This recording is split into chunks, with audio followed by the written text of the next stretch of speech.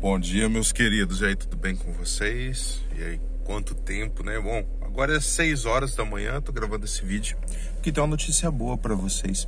Tô aqui dentro do carro, aquecendo o carro para mim sair para trabalhar, né?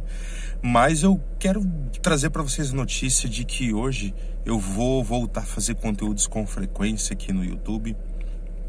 Eu tenho certeza que ainda tenho bastante coisa legal para trazer para vocês.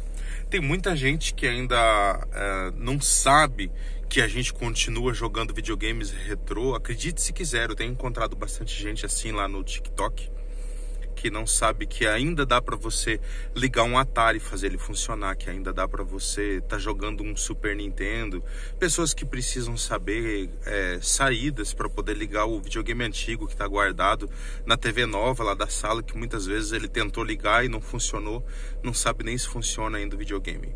Esses tipos de conteúdos, mostrar curiosidades, mostrar aquisições, fazer unboxings, falar sobre a história dos videogames, sobre é, tudo aquilo, todo esse mundo, né, que nos traz tanta alegria, tanta coisa boa. Eu conto com é, conto com a ajuda de todos vocês para que vocês assistam os vídeos, que vocês compartilhem e deixem aí também nos comentários sugestões para conteúdos para a gente estar tá fazendo nos próximos vídeos. Eu estava olhando as playlists aqui, vi como tem tantos vídeos, né? Estão 300 vídeos aí durante esses dois anos que eu tive marcando presença aqui no YouTube e tanta coisa boa que a gente viveu junto.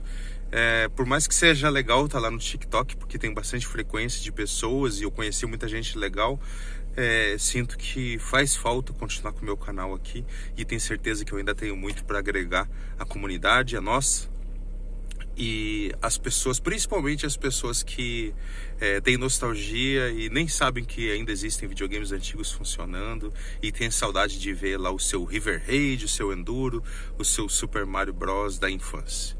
Um grande abraço para todos vocês, espero que vocês tenham gostado dessa notícia aí. Tamo junto. Deixa aí nos comentários sugestões e o teu apoio também. Valeu!